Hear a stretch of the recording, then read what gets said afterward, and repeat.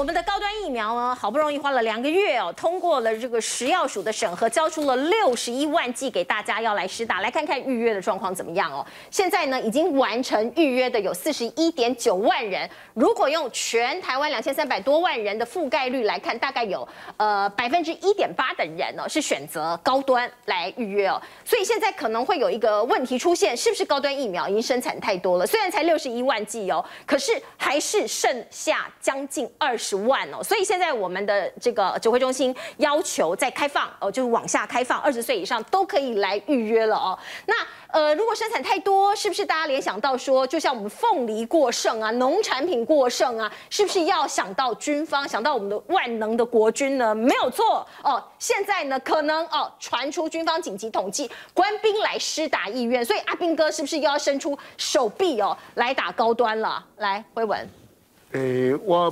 波琼对家龙龙介兄讲说，民主自由是我们的武器哈。龙介兄，你要知道，我们的民主自由啊，现在很多大陆朋友啊，当做笑话在看，是因为蔡总统的领导，蔡总统领导的民主自由，看我们的防疫工作，看我们人家变成变成是在看笑话，这个就是蔡总统领导国家方向错误的地方哈。那这个数据是这样子哦，本来他的预约资格是有六十点五万人，这个符合目前高端。封签通过六十一万差不多，可是呢，到今天中午为止呢，去登记的有四十一万九千人，这当然包括我们蔡总统，包括我们赖副总统，还有高嘉宇，他们都是去预约的哈。那可是这样子呢，它就会有落差嘛。好，这个这个有落差，然后高端的疫苗也比将近多了二十万，所以它又开放往下开放的这二十九点八万哈，就是二十到三十五岁的人，你也可以在这两天去预约打高端的疫苗哈。那这这会出现什么状况呢？因为这个本来复选高端是一百一十四万，单勾高端是二十万哈。那前次因为这个高端它的这个比例哈，以昨天看的话，它的比例是这样子，六十五趴。好，这是到昨天晚上统计的数字呢。你可以看到跟之前的 A Z 比，跟之前的莫德纳比，显然去预约高端的人比较少。好，但是这样子会出现什么状况？就是说，前次我的担心是说，这一次这一批高端拿出来是六十一万，他可能在下个礼拜开打呢，去打的人可能也是六十一万，然后就打完了。你你懂吗？就是复他还会再生产啊？问题就在这里嘛，就是复选跟单钩的已经打完了。哦，啊，某狼被怕。哎呀，对，就是一一他可能，我说可能他如果照这个人数一推算。他今天要开放二十九点八万嘛？如果你以三分之二去推算，大概就二十万人会去去去预约嘛。那加上之前四十万，刚好六十万，他刚好就打完了。嗯。那刚刚前子问那问题很好玩，那后面生产的怎么办？这问题就大了。那个大卫，你送点给你们伊朗里面。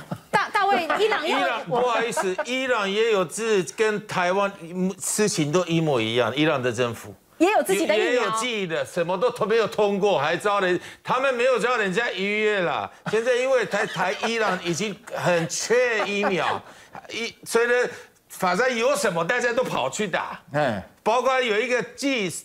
不止记一个啦，好像两三个啦，还没有通过二期，还没有通过已经打了，已经打了，已经打了。我我问我爸说，你到底打什么？他说不知道。然后我们因为眼睛大嘛，他说你要我跟他说你打什么？他说不知道，找我打，我去打了。所以还没有通过。他寄给我好像是水啦，有没有感觉？水啊，所以其实全世界都有这种事情哦，就还没有通过这个国际的伊朗也有，伊朗目前就有啊，好像呃一个是完全。已经推呃，政府已经呃推荐了，就说一定有这个这个一定打了，然后已经打了好呃有有不少哦，打的不少，因为伊朗八千多万人嘛，是那打的不少。我们问一下 David 哦，他是这个我们台湾来我们台湾二十年了，你愿不愿意打我们的国产疫苗高端？我我这个问题是我问过，有人问我，我问他，我常常出国，我对打这个的时候，以后我可不可以出国？可以出国，但是要隔离。没有没有，问题是有没有护护照？没有疫苗护照。疫苗护照没有。我现在在讲的是以后，现在不要考，我们这的是明年了。嗯，明年以后。然后第二个当然是我比较不敢。你比较不敢。好，我们来问一下龙杰兄。龙杰兄，现在看起来呢，这样辉文也讲了嘛？哦，如果六十一万剂哦打完了哦，已经后面万一还要再继续生产哦，看起来是要生产，因为我们合约是五百万剂嘛。别安做，不让被怕。一定要生产，然后一定要交货，这样他们才不会有刑事责任，但是会有行政责任。那从宇昌案到浩鼎案，再到这个高端呐，我想很可惜啊，蔡总统这次我们从头给他看起来好像是真的受到了这个陈副总统的影响，陈副总统对这个案的这个推动跟所讲的话里面，确实有一些猫腻。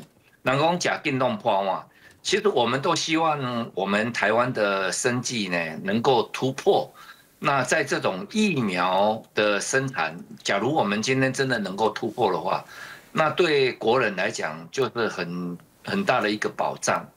那你今天假电动破话，就是说，你如果同样花这么多的钱，那同样要补助他，那也要跟他采购，那等于这家工厂，假如我是一家工厂，我的产品你已经帮我预定了五百万 piece 的话。那我跟你讲，我就毫无后顾之忧，我就可以把我的品质提升到相当高的一个档次。那我可以扩展更大的市场。那这样的话，等于我是毫无风险的。那结果就是一直逼，一直催。那呃，新娘的化妆啊，美好，你得要给出歌去给人。所以我就觉得说，这一次很可惜。我不讲高端是不是绝对无效了，但因为你没有对付我。